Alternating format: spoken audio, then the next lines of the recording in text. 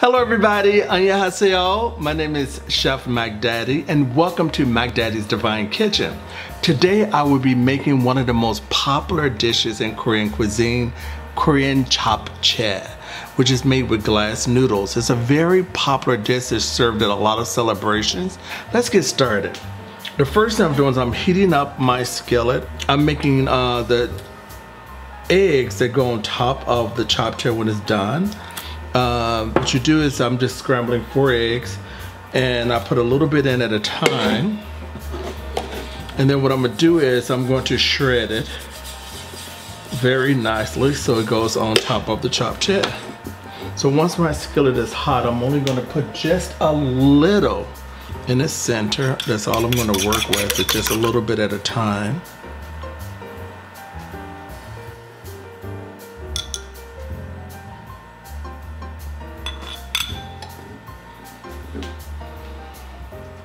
You know, be patient with this because one of the greatest thing about it is your patience will pay off because I'm making enough that I can eat off of for a whole week.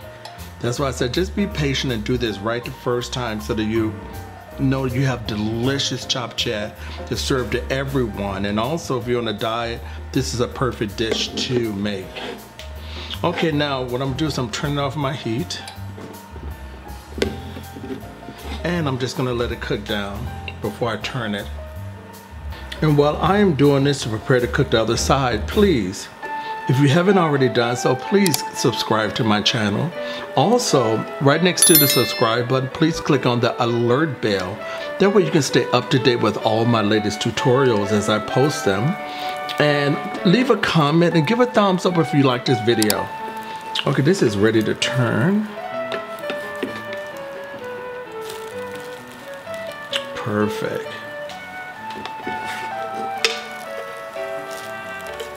That is cooling on my chopping board. I'm going to make another one here.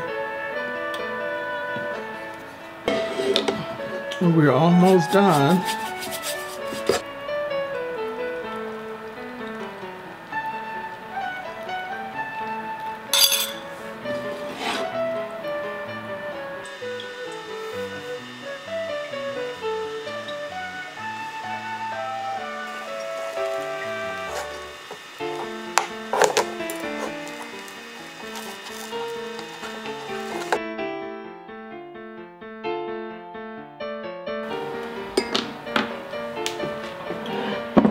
I have rolled my omelets up,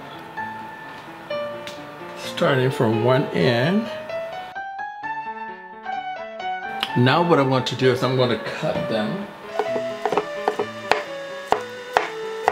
into little thin strips. This is for my topping for later.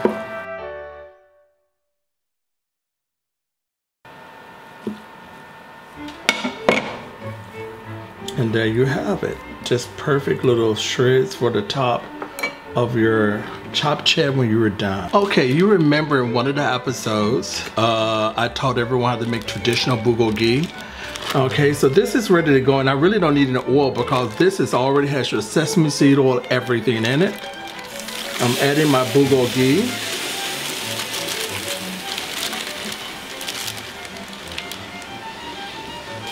And so this is perfect. I can wake up for lunch or dinner, have myself some japchae or galbi, and call it a day, and I'm feeling fabulous. Because it's like a whole meal in one. The beef gives you your protein. It has plenty of vegetables in it. Okay, we're just letting this cook down just a little bit. I'm gonna add my carrots now because I want these to sort of tenderize and cook in all that nice bulgogi flavor. Okay, this is cooking down and while this is cooking, I'm gonna add my red bell pepper and green bell pepper. What I've cut it, I've cut all my bell pepper as julienne. Oh my God, this smells so good. Now while this is cooking down, I just want this to get just a little bit tender before I add my vermicelli noodles. It's gonna be the bean thread. The reason why is because um, you don't want your bean thread to overcook. Although you stop the cooking process, there's a whole video. You look in the description tab below that you click on that link and I did one video just to making uh, vermicelli noodles. I'm using uh, three cups of shiitake mushrooms.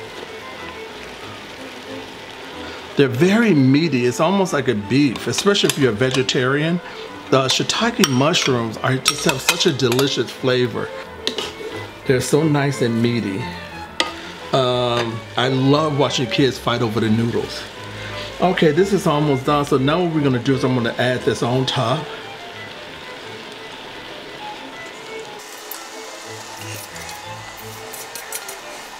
Now what I have right here is four tablespoons of dark soy sauce.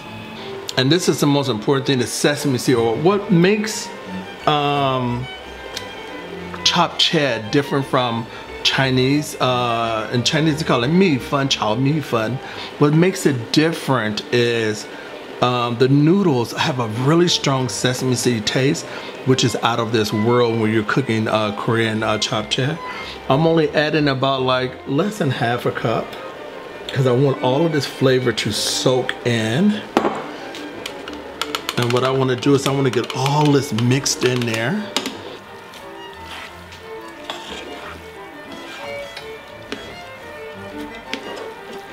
I've been eating off of this for quite some time. That is so beautiful. Let's give this, well, let me salt and pepper this first. Let's add some salt for taste. Fresh ground pepper that I grind myself. Now this is optional, but I'm just gonna add just a few hot pepper flakes. I just like to have just a baby kick, not too much. This is only about, you know, maybe one tablespoon, that's it. It's just to give it just a little, just a little baby kick in the butt. Mm.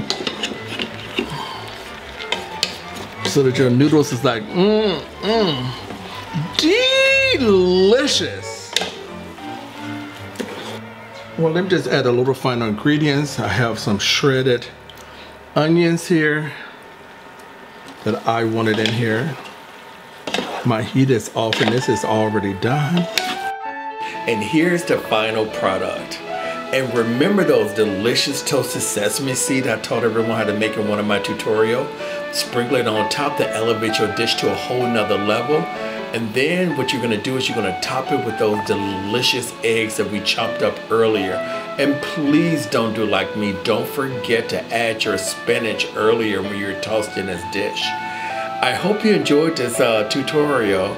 Uh, the next one is going to be out of this world. You are going to love it. Until then, bye everyone.